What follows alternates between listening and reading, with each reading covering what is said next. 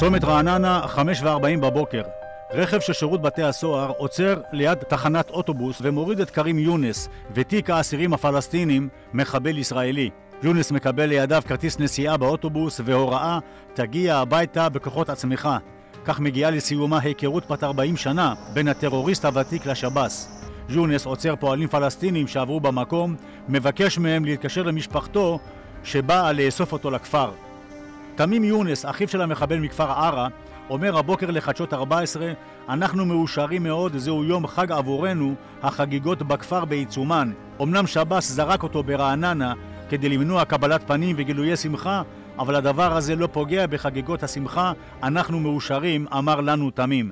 الانسان يمنع الحشود والتصوير والفرحه ولا ولا آه. ولكن هذا لن ينقص علينا شيء الجو جدا حلو وجدا مبسوطين والكل مبسوط وفي احتفال وفي فرح وفي حضور والحمد لله. בשנת 1980 רצחו כרים יונס ובן דודו מאיר יונס, שהשתחרר גם הוא בקרוב, את החייל אברהם ברומברג. כרים, שהצטרף לפת"ח טרם הרצח, נעצר על ידי השב"כ בהיותו סטודנט בבאר שבע.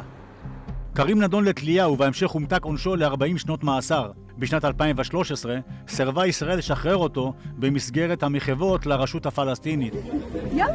כאשר הגיע יונס לכפר ערה במשולש, מיהר לעלות לקבר הוריו וחיבק את קברה של אמו שמתה לפני מספר חודשים. בהמשך ניגש יונס לחבק את אמו של מאיר, שותפו לרצח החייל. تحياتنا لأبناء شعبنا العظيم اللي 100 سنة بناضل من أجل حقه لم يرفع الراية البيضاء على رغم نضاله 100 سنة ورغم במאי האחרון, כאשר מתה אמו של יונס, פתח אבו מאזן בית אבלים לזכרה במוקטעה ברמאללה.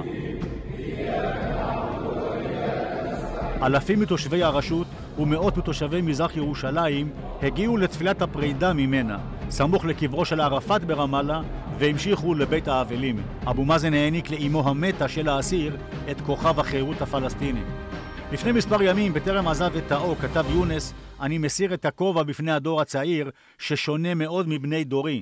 אלו פעילים צעירים אמיצים שנחושים להניף את הדגל הפלסטיני.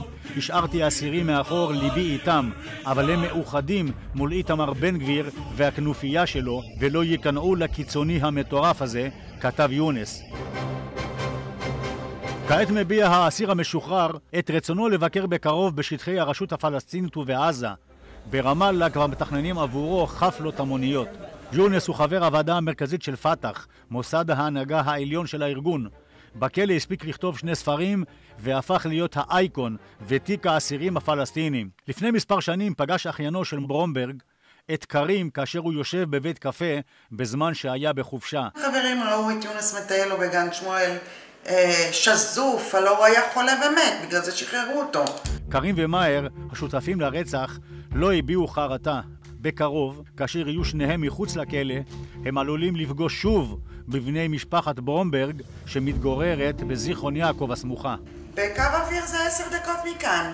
ארגון בוחרים בחיים קורא לגרש את יונס. אנחנו קוראים מה שאנחנו קוראים כבר חודשים, וגם שנים, לחוקק את חוק הגירוש, או את חוק ההרחקה של מחבלים ישראלים שמקבלים משכורות מהרשות הפלסטינית. הם שייכים לרשות הפלסטינית, הם סוכנים שלהם, ושם מקומם. מספר חברי כנסת בוחנים כעת את האפשרות להביא לשלילת אזרחותו, מה שיאפשר את גירושו. השאלה היא האם יגורש יונס עוד טרם שיפגוש באקראי את בני משפחתו של החייל הנרצח אברהם ברומברג.